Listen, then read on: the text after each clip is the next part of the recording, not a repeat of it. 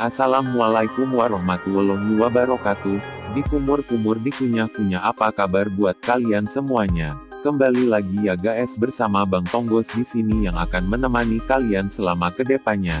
Di sini Bang Tonggos mempunyai informasi-informasi terbaru, terupdate, terpopuler dan terkece tentunya apalagi kalau bukan seputaran ikatan cinta yang dibintangi artis cantik dan tampan siapa lagi ya guys kalau bukan Amanda Manopo dan Arya Saloka. Tapi sebelum kita lanjut, alangkah baiknya buat kalian yang baru bergabung di channel ini, ataupun yang baru menemukan channel ini silahkan tekan tombol subscribe-nya dan nyalakan lonceng notifikasinya bertujuan guys supaya kalian tidak ketinggalan informasi-informasi terbaru, terupdate, terpopuler dan terkece lainnya apalagi kalau bukan di channelnya Bang Tonggos, di mana pun kalian berada Bang Tonggos selalu mendoakan yang terbaik buat kita semuanya. Amin amin ya robbal alamin, oke guys tanpa basa-basi lagi inilah beritanya, dan selamat menyaksikan.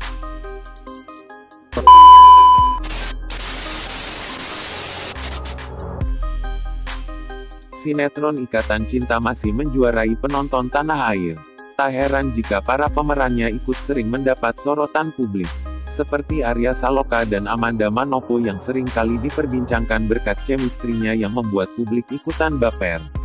Akibat dari kebersamaan dan akting keduanya, baik Amanda maupun Arya sering kali dijodoh-jodohkan di dunia nyata oleh para netizen. Hal itu menjadi salah satu ujian dalam rumah tangga Arya Saloka dan Putri N. Mendalami peran sebagai Andin dan Aldebaran di sinetron rupanya malah membuat penonton baper.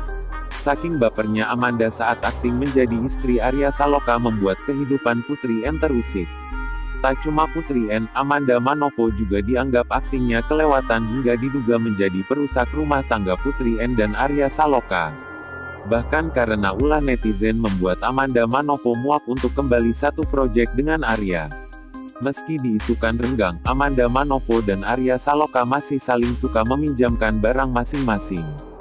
Hal ini pun mengingatkan netizen dengan perkataannya dulu kalau ia benci jikalau barangnya dikenakan orang lain. Gue gak suka barang gue dipehang orang, kata Arya Saloka. Potongan pengakuan Arya Saloka pun diposting ulang oleh akun penggemar Ikatan Cinta. Iya deh paham kok, bolehnya cuma buat Bu RW, Andin, sampai dipakein juga udah beberapa kali ya kan, di luar Tekyo, tulisnya. Diketahui, beberapa kali Arya Saloka meminjamkan barang miliknya seperti jas yang beberapa kali dipakai Andin, Lego, bahkan handphone.